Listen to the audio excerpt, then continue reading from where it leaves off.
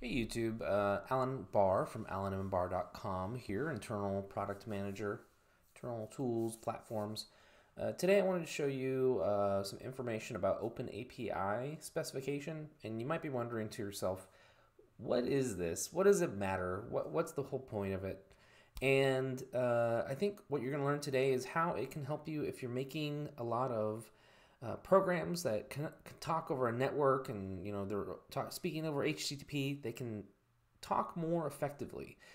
They can know how to send the right data that you can keep in sync. And if you only have one, this may not like be super important. Uh, but essentially, if you are a developer, an engineer, uh, you like to be able to know how to do things. And that's what the Open API specifications for is to help you know what you're supposed to do to send information uh, and to get responses and all those kinds of things. So today what I want to do is I want to show you uh, a tutorial that I worked through uh, from the idratherbewriting.com website and that I kind of summed up uh, for my purposes because I work on internal products that I want our developers to use the Open API specification and the benefit they get is that uh, it makes it more automatic to have documentation for your applications, for your APIs.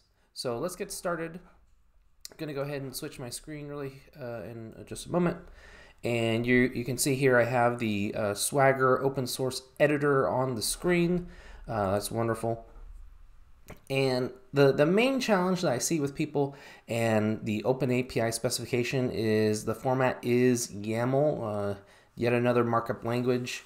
Uh, it is essentially a superset of JSON, which means that even though you can see all this like white space, it's really JSON. So there's really a lot of curly braces that are, are there, um, but you don't see them. So you could you, you could basically use an online app to transform this from this YAML syntax into JSON, where you'd see a lot of curly braces and commas and all that kind of stuff. Uh, but those get kind of tedious to work through. Uh, so what I want to do today is I want to show you how to kind of understand and read this uh, because it's a lot of text to read through. In this demo example uh, from that tutorial, uh, you know, this is this is a lot of stuff, and if you're not super familiar with working with APIs, it might be kind of overwhelming and daunting, uh, but it's really not. If you if you just focus on different sections of it first, you'll realize that it's actually pretty simple. So if you change any of this content, it will update the pane on the right, which is the rendered version of the, uh, the Swagger UI. Uh, and then on the left is the Swagger editor. These are open source products. Uh, so getting started, we start with the Open API specification version. Uh, we're looking at 3.0.3. There's a newer version out there, but many tools do not support it yet. It's 3.1. In addition, there is an info object right below that. And just to go back a moment, the, that Open API section is very important because that's how the parsers understand that this is whatever document it is. Uh, so there was a previous version of Open API called uh, uh, Open API 2.0.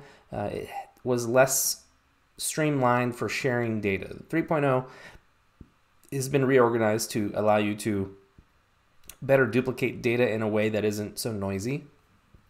So if we go back to the info object now, You'll see there's different parts of this content, title, description. The description you can see has uh, a, a, a, markdown format called CommonMark that you can use to uh, have it be highlighted in the UI. Uh, there's a version which would be related to the version of the API that you're you know planning to provide to your users.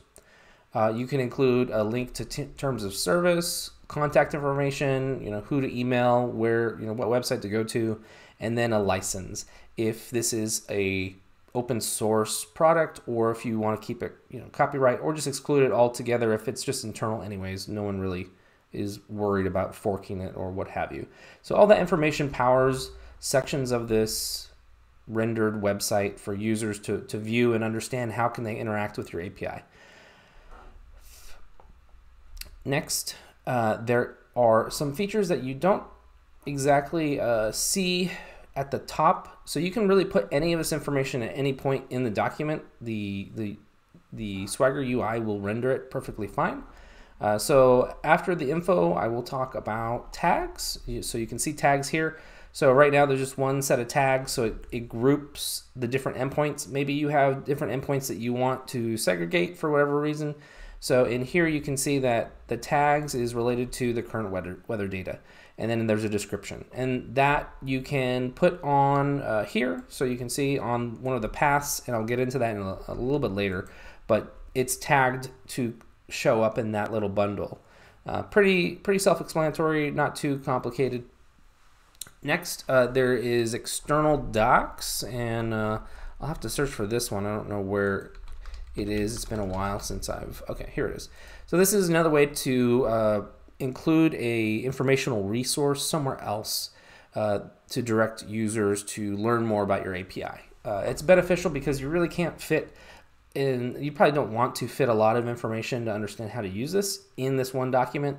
It's really just like, what is the machine going to tell you that you absolutely need to know? Everything else you can include somewhere else. External docs very important. Uh, in addition, there is servers. You can indicate what server this is living on. Uh, in a Kubernetes world, it gets a little bit more complicated, uh, but there's a lot of extended features you can do with servers, such as uh, templating, and you can have different regional endpoints. It's very flexible.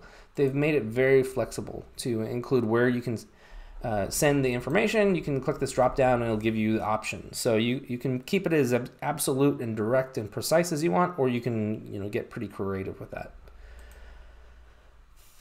Next is security. Security lives in a thing called components. I'm not going to go into components just yet. I'm leaving that to the end because it's a little complicated. So if we look at security, and the reason why security is important is because your API typically is not going to be public or even if it is public, you want to limit who and how they can get data uh, because you know it is if you run a server, it costs money to run it. You might get charged for network egress, ingress. So we have this security schemes information here. It lives it lives under uh, the components and schemas. So in this we have app ID, type, API key, description, name, in query. So basically we're saying that as long as there is in the query uh, string of the, you know, the website, the URL up here, you can see, um, you can append a key value pair of API key uh, or, or, app ID rather uh, is equal to and then some value that is the key. So you can retrieve the data securely. Uh, there's a lot of other security schemes I won't get into, uh, but that's how you would do it. So if I look up uh, security in here, uh, so here it's it's basically referencing that information about security. So just a high level information about security. Now, the most important thing about the Open API specification uh, and RESTful APIs are the paths or the routes. And the reason why they're important is because that's how you send information, that's how you receive the information back about what you're trying to, to know about with your program. So uh, in your paths, you have information about, you know, how to, what route to call to get data. So in this case, it's weather. Uh, there are, like we talked about the tags of, you know, what, what is it related to, uh, the summary of the information of uh, the particular route, description, more information uh, that that could show up in the UI if you uh, open it up a little bit. And then, uh, so for example, parameters. So if I send a query, a get query with parameters, you know, these are all going to be appended to that URL. Uh, so I can get more precise about exactly what I'm looking for, and then the server can return that back to me and tell me, okay, I figured out that you wanted this, you know, here you are. And then I also know what kind of responses I'm going to receive. So if it's a good response, I'm going to get a 200 back. If it's a bad response, I'm going to get a 404. So 404 is typically not found. It was a bad query, whatever you passed in. Um, not super detailed kinds of responses. I think these are, it's a good uh, division between two types of responses. Either it's good or bad. So very clear. And there isn't really a whole lot else to this uh, API. That I think that's the benefit of it is that it's very simple. Uh, it's just one route. You, but it is complicated in the sense that you can pass in all kinds of information, and that's where we get into components. So, so you probably saw a lot of stuff here, uh, like this dollar sign ref, and it might look a little complicated. And it is it is a little complicated, but not not incredibly complicated. So what these are are these shareable blocks of information. So anything in the Open API specification can be shareable within itself. And the way you make it shareable is using this uh, JSON schema reference to the document. And basically you're telling it like, look in this document, and you can even link to outside documents even uh, on other web, web pages or a file even. Uh, it just depends on how you bundle up all the, the you know, the, uh, the documents. But essentially, uh, so for parameters, it's very verbose, it's very big. You know, it, it would probably be really hard to read if it was all in this. So what they're doing in, in their Open API specification is they have a path to basically saying in this document, in the components, in parameters, look up Q. So, you know, we go to components, which is all the shareable components, everything that we can reuse. So it could, so it could be responses, it could be parameters, it could be uh, requests, it could be security schemes, etc. So in here, you know, we have the Q parameters and it's all the same information. Uh, there's some detailed information about like what is a schema, what is it exactly, is it a string, is it a number, etc. Uh, so all that is pretty uh, basic. Uh, enum is interesting if you have a list of things that you only want them to provide. That's helpful to use. Uh, and then further schemas are like the responses or requests.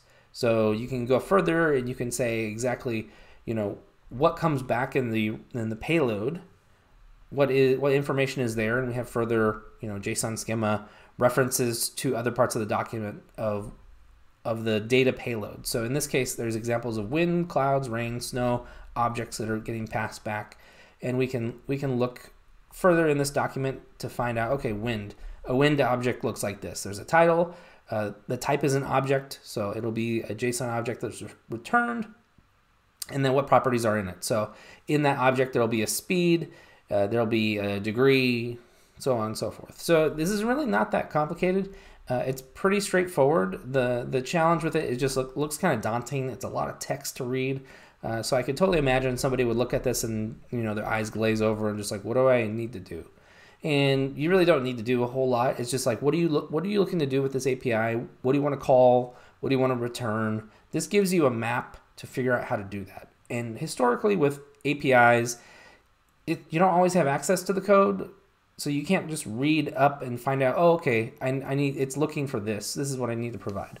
Especially if it's run by other people, uh, you may not know. They might change it rapidly. Uh, and that's the biggest struggle. Is the value that this provides is if you're working on many, many APIs, not just one. If it's just one, this is beneficial, but it's not really adding as much value. Where you get the value is when you start reusing a lot of the different kinds of information that's still the same. So uh, one thing I, I glossed over, haven't really covered a lot, is the schemas. So kind of touched on this a moment, but this is what really makes it valuable is that you can specify exactly what those data objects are that are going to be returned or need to be sent. And if you work on a lot of different APIs, you can basically uh, share and reuse them and continue to reference them in all your things. And ideally, it should help make it more maintainable over time, just because the more you have of things, the more duplication, the, the more risk of things are going to be out of date. And it's pretty normal. So, what I want you to do is consider using Open API 3.0 in your next project if you're not already using it. Uh, and the reason why is you can provide out of the box with your application a way for others to know how to interact. Uh, they'll get a really handy page, you know, to query it exactly. It really helps business people that you know really don't want to get into the command line, or you know maybe they want to use Postman, maybe they don't. Uh, that's very beneficial. And then if you can provide this in a way that people can access it and generate their own clients from. Uh, that's one of the benefits of a tool like Swagger Hub or Open API, you know, generators, is that you can start from a API that already has everything filled in for you. It's not the prettiest thing, but it, it works and it will save you some some time. So if you're, it's really about volume. Are you working on volume? Because then that that's where it plays in. Uh, so look for OpenAPI 3.1 in the future. It's not totally supported yet. It really fixes a lot of stuff related to JSON schema, but uh, again, if you're working on APIs, you know, documentation is super important. People just want to know what do they need to do, and I think it's it's just essential.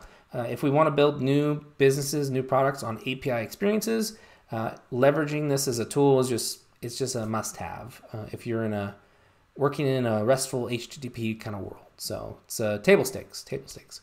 All right, everybody. Well, you have a great day. Uh, check out any other videos I have, uh, and excited to uh, talk to you further and share more stuff I'm learning.